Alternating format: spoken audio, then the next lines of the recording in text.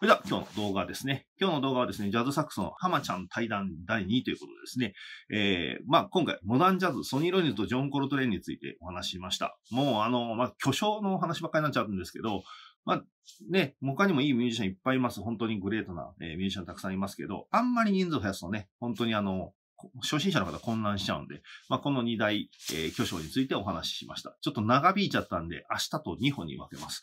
えー、というわけで、えー、ジャズサックスのモダンジャズ編を前半お楽しみください。はい。じゃあ今日も浜崎くんに来ていただきました。はい、皆さんこんばんは。えー、数秒しか経ってないけどね。えー、ジャズ黎明期ということでですね、まあ、ジャズってさ、やっぱサックスとか管楽器が始めた、もう俺もトランペットとサックスがもう痺れるんだけど、自分ができるとは全く思えないけど、あの、めちゃくちゃ羨ましい管楽器は。いやー、でも俺は、俺からするとドラム楽しそうだなと思うんですけどね。ドラムは一番知能指数低いやつだからね。まあ、知能指数はね、あの、あれですよ。全体的に低いんで大丈夫ですよ。まあでも中でもとりわけドラマは低いと思いますけど。そうね。一番、一番、ミュージシャンの方こちらで、ドラマーの方こちらって言われる。あ、そうそうそう、そんな感じですね。まあ、しょまあ、あれですね、そのジャズの黎明期、この頃ってでもやっぱりあの、ダンスが主流だったでしょ？うんうんうん。いわゆるみんな踊って楽しむだったんで、うん、で、やっぱその、わかりやすいリズムっていうのが大事だったですよね、ですからね。なるほど、なるほど。踊れないと困るみたいな感じで。うん、だからまあ、あんまりなんか、だから打楽器が前面に出てくるというよりは、うん、ちゃんとステディな、ね、リズムをちゃんと刻むっていうことが大事だったじゃないですか。うん、でこれから後ですよね。やっぱり40年代とかからですよね。ドラムがなんか前面に出だすのっていうのは。面白いくなるのはね。そうですね。こう、なんかこう、僕も文化センターとかでやってて、やっぱりこの辺の解説って欠かせないんだけど、うん、この前のアームストロングとか、その辺も欠かせないんだけど、なんか、じゃあそのアルバムを進めて、なんかこう、いや、もちろんその、そこから好きになる人もいるとは思うんだけど、やっぱりこう、なんていうかな、あれ？これ、なんか思ってたのと違うなと思われちゃうのね、やっぱり。で、その、やっぱダンスミュージック、スイングジャズこれ以前だったりする。パーカーでこう、バップになるから、スイングジャズ以前のお話っていうのは、あんまりこう、ボリュームを大きくすると、なんかこう、なんていうのかな。お客さんからすると、やっぱり分かりやすいところが面白いと思って遡るとさらに膨らむんだけど、先にそっちをこうやりすぎると、なんかあんまり膨らまない気がする。いや、俺もそうだと思います。うんなんかあの、録音もやっぱり、なんていうんですか、SP の時代なんで、まあ、悪いし、うんうん、聞きやすくないんで、うん、あの、良さが伝わりづらいんですよ、やっぱり。どうしても。うん、で、だから、なんていうんですかね、この頃ってやっぱりジャズがまだすごく大衆文化で、うん、みんな音楽聴きに行くで、踊りに行くって言って、やっぱりそのナイトクラブだったわけですよ。で、そこでカウントベーシー楽団がやってたりとか、まあ、デューケ・リントン楽団がやってたりとかして、そこに行くのがもう、なんていうんですかね、かっこいい大人だったってことなんです。だからみんながジャズに憧れてたし、その頃のジャズマンっていうのは一番持ってたんですよね。ね、本当に。で、みんながもう揃いのタキシード着て、うん、もう金も稼いで、うん一番ヒップだった時代ですよ。ね。なんかさ、この頃のジャズクラブって、なんかこう、ワンドリング頼めば学生が立ち見なんだけど、そこでダンスしてていいっていうエリアがあったんだって。はあ、はあはあ、ありますね。だからやっぱりこう、今みたいにもう高いばっかだかじゃなくて、若い子たちももう入りたくて仕方がないみたいな、今のクラブみたいなイメージだったんだよね、きっとね。うん、今、一部のニューヨークのクラブもまだそういうとこありますよ。まあ、うん。立ち見席みたいな。うん。あれやっぱいい、いいですよね、そういうのあるとね。ね、若い子たちが、その、そういうのを楽しめるっていうのはいい。うん。うん、なんか5ドルぐらいでとかね。あそうだよね。うん。そうそうそう、そういう感じがいいですよね。そう。まあ、レスター・ヤングは、まあ、まあまあ、浜ちゃんも大好きでしょ？まあもう、この人は、がジャズ作ったようなもんですよね、やっぱりね。ジャズサックスの歴史のね。うん。まあ、プレズでプレジデントっていういういう意味でみんなからこう尊敬されてチャーリー・パーカーのバードはチキンばっかり食ってたからっていう話を聞いたんだけど、そうでもないあの、鶏の唐揚げみたいなのが、フライドチキンが大好きだった、大好きだったのね。うん、はい。で、まあ、みんなにバード、バードって言われてたっていう話なんだけど、まあ、この二人はまあ、僕らプロミュージシャンからすると絶対聞かなきゃいけないんだけど、最初にこれ聞くと、結構僕、チャーリー・パーカー最初に聞けって言われて、全然わかんなかったから。いや、結構厳しいと思うんですよ。うん。はい。なんか、うん。パーカーだけが優れてるっていう感じが否めないというか、今聞いてもね。まあ、まあ、ついてってはいるけど。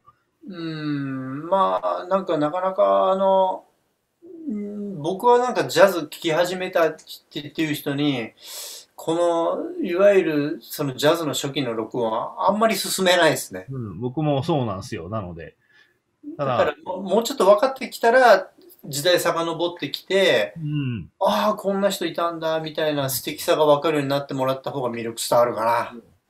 僕もね、だからあの、全然話してるけど、社会の授業とかってさ、最初、卑弥呼とか邪馬台国とかと並ぶじゃん、みたいな。わかる。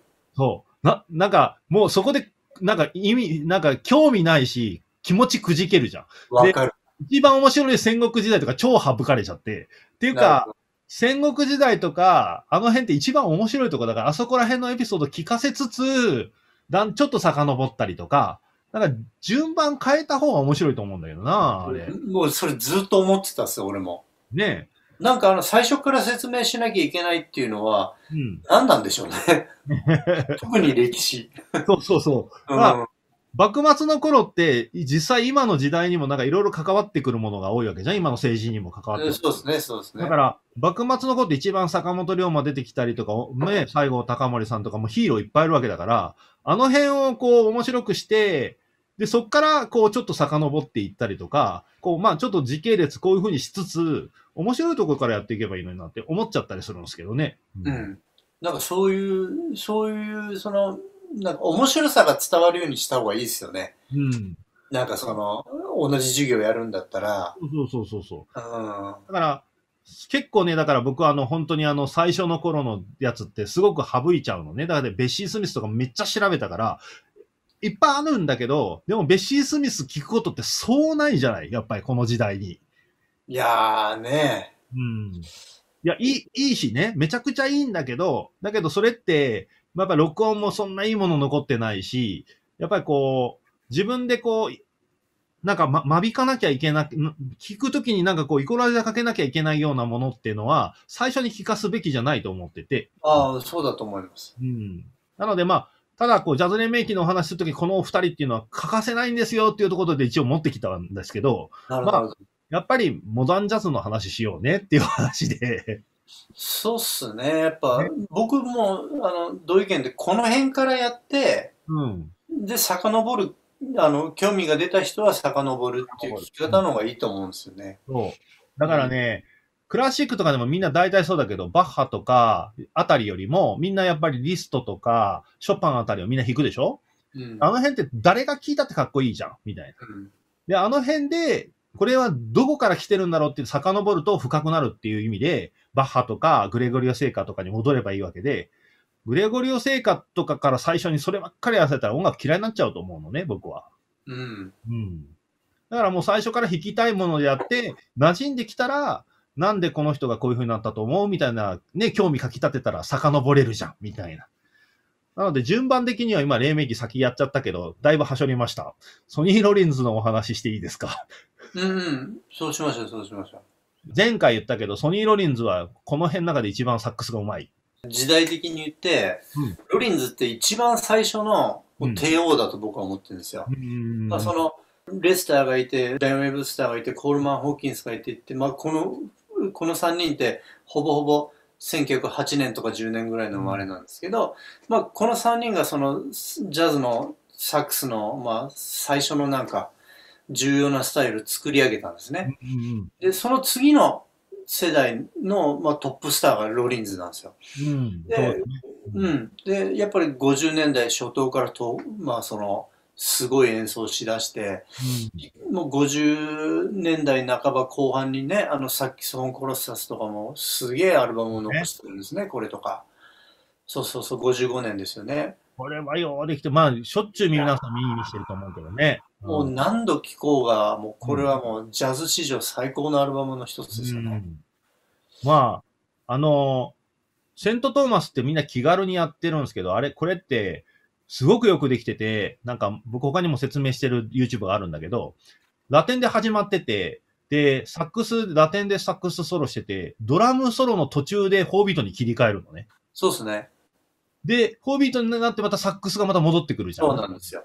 いや、これ、意外とみんな知らないんだよね。なんかこう、すごくよくできてるというか。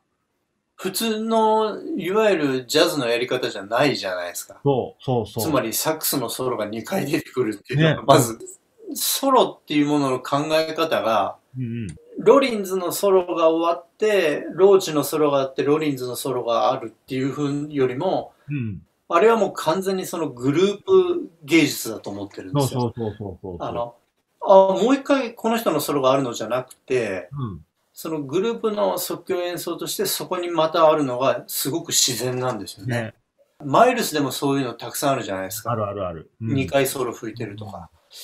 でもなんかその辺のやっぱ考え方もね、割と通り一辺倒な演奏の方が耳にしますけど、うん、これはそういう意味でもすげえお手本ですよね。ね、お手本。めちゃくちゃアイデアがいっぱいあってね、すごい。うん、まあ、まあ皆さんもこれ見たことあると思うんですが、この、ね、こういう、この辺、マックス・ローチとかやっぱり、まあこの当時やっぱり、本当にもう大スターだったと思うんだけど、とんでもないね、この時代で。だから、チャーリー・パーカーに、まあ、唯一食らいついていった感じがする。なんかモダンな感じが。うん、そうっすね。うん、もう、マックス・ローチがいなきゃ、うん、ないでしょうね、ジャズは。ね、あのー、ケニー・クラークが一番最初にバスドラシンコペーションし始めたとか、ディジー・ガレスピが言ってたけど、まあ、マックス・ローチ、まあ、やり始めたのはその辺かもしれないけど、まあ、マックス・ローチとかが相当、ね、リズムの形を、な構造を変えてったって感じがしますね。うん、まあ、このアルバムはやっぱり聴きやすいし、プロがき今聴いてもまだ感動するというアルバムですよね。あいや、もう完璧ですね、これね。完璧。完璧すぎて。これ選曲も結構ね、文句のブルーセブンとか入ってたりとか、結構いいんだよね。いや、いいっすね。一曲目ばっかりつ、ちょっとついつい聴いちゃうところがあるけど。はいで、やっぱりその、あともう一つ特徴はやっぱりオリジナル曲が多いですよね。多いね。そうやって考えたらね。はいもちろん、セント・トーマスだし、モリタートもそうだし、そうだね。うん、ブルーセブンもそうだし、うん、やっぱオリジナル曲やるっていうのがジャズの伝統なんだなっていうのを。なるほど。さすが。まあ、ね、ロリンズは、例えばその、ど、どういうサックス、僕はサックスをふ、まあ、ね、家にあるからたまに吹くけど、その、なんかこう、どう、どこが飛び抜けてうまい？どういうところ、なんか口で説明できますか？あえっ、ー、と、えっ、ー、と、何ですかね。う、うまさっていうか、あの、総合力の高さなんですよ。音もいいし、うん、とてもハンギングって言ってアクセントも自由自在だし、うん、指もすごく思い通りに早く動くし、あらゆるところで平均点が高いんですね、この人って。で、なおかつその、テナーのスタイルとしても、まあ、コールマン・ホーキンス直系とよく言われますけど、うん、非常に男性的で、うん、パワフルで、ね、うん、はい。でも、なおかつ、やっぱり全てがコントロールされてるっていうとこですかね。そういった意味で、ジャズサキスフォンの一番のお手本になり、なりますよね、この人はね。まあだから、貞夫さんなんかもさ、なんか、やっぱめちゃくちゃ影響を受けてる感じがするもんね。うん、もうもちろんそうじゃないですか。ね、渡辺貞夫さんとか聞くともう、まさにこう、なんか、この頃のロリンズの吹き方とかめちゃくちゃなんか聞いたな。まあ、もちろん貞夫さんの音楽にはもうなってるんだろうけど、なんか、そういう感じがする。まあでもやっぱりサックス奏者でロリンズの影響を受けてない人っていないんじゃないかな。演奏に出る出ないは別として、まあほぼほぼ全員何かもらってるんでしょうね、当然ね。ねなるほど。うん。でまあ、この対照的に、まあ今度はコルトレーンに行くわけですが、コルトレーン。はい、コルトレーンの方が年上なんだよね。だから、ね、ロリンズ、ロリンズの方が年下っていうか。はい。なんか、ロリンズはだからコルトレーンが出てきて、なんか、一時期演奏をね、しなくなって、こう、ひたすら家で練習するじゃないですか。はいはい。なんかこう、ジョン・コルトレーンというこう、新星が出てきたことによって、なんか自分の演奏にこう、こう、なんていうのかな、こう、不満を持つぐらいの凄さっていうのがやっぱあったんだと思うんだけど、その辺は、浜ちゃん的にはどう思う？えっ、と、あの、もう一番最初に、そのジャズの歴史の中で、もう上り詰めたのはローリンズなんですよ。うん、それこそ50年代半ばで、一番もうテナーサックス奏者として、ファーストコールだったのはロリンズなんですけど、うんまあ、で当然あのマックス・ローチ・クイーンって言っても最初ロリンズだったし、うん、コルトレーンはまあそういった意味で遅咲きなんですよ。うん、で、まあ、フィラデルフィアの出身ですよね。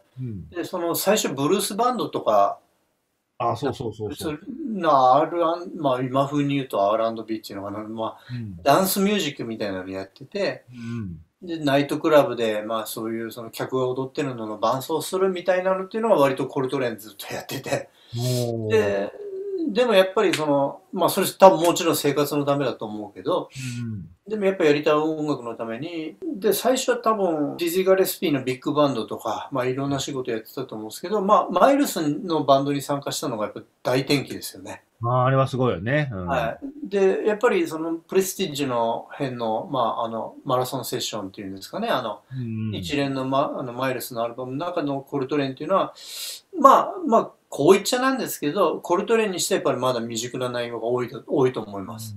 演奏内容にしても、サックスのその、コントロールとか、プレイにしても、ただ、あの数年間でものすごいコルトレーンっていうのは、なんとコルトレーンになったっていうか、はい。集中して練習してたりとかもそうだし、コルトレーンの急成長を見るにつけ、ロリンズもすでに完成されたスタイルと、プレーをしてたわけですけど、なんか感じるところがあったんでしょうね。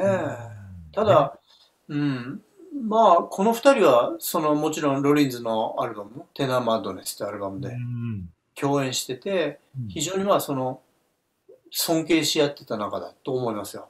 ああ、そうなんだ。はい。っていうのはやっぱりコルトレンも、Like Sony っていう曲を彼がオリジナルに書いたりとかね、してますから、まあ、いわゆるなんか、般的に言うようなライバルっていうのは本人たちとしてはやっぱり同じ目標を持った同志っていう感じじゃないですか。うん。バイクソニーって全然ソニーロリンズっぽく聞こえないけど。全くないですね。何なんでしょうね。全然、全然ソニーロリンズのフレーズらしくないもんね。全くもって。ここまで言ってて、実はソニーロリソズだったとかね。ロリンズではなくて。ソニースティットかもしれんな。まあでも、違いだったみたいなね。うん、まあでも、ジョン・コルトレーンから見たソニー・ロリンズだったかもしれないね。まあまあ、ありえますよね。ねなんか、そういう、そういうのを感じるのかな、みたいな。うん、まあ、コルトレーンといえば、まあ、やっぱりでも、市場の愛とかもあるんですけど、僕結構最近好きでよく聞くんだけど、市場の愛とか。うん。クレッセントがすごい好きで、僕は。クレッセント最高ですよ。ね。あの、はい、オリジナルばっかでね。うん、最高です。あの、前にね、ちょっと僕もちょっとお話ししたときに、えっ、ー、と、まあ、クレッセント以前の頃ってさ、今日もご視聴ありがとうございました。今日の動画が面白かったなとか、ためになったなっていう方は、ぜひいいねボタンを押してください。えー、作るときのモチベーションになりますので、よろしくお願いします。このチャンネルではドラムの演奏ですね、ジャズの演奏とか、ポップスとかもやってます。あと、クラシックとか吹奏楽のコツなんかも教えてます。あと、ジャズの楽しみ方ですね。リスナーの方とか、他の楽器の方が、えー、ジャズが面白いなと思うために、まあ、歴史とか、えー、曲の解説とか、演奏中に何考えてるかっていう動画を上げてますので、えー、ぜひお楽しみください。週2本ペースでアップしてますので、見逃さないようにチャンネル登録の方もよろしくお願いします。この動画の中の譜面などの資料はメールマガジンの読者さん限定になりますので、詳細欄からメールマガジンの登録をお願いします。では本日もご視聴ありがとうございました。またご視聴よろしくお願いします。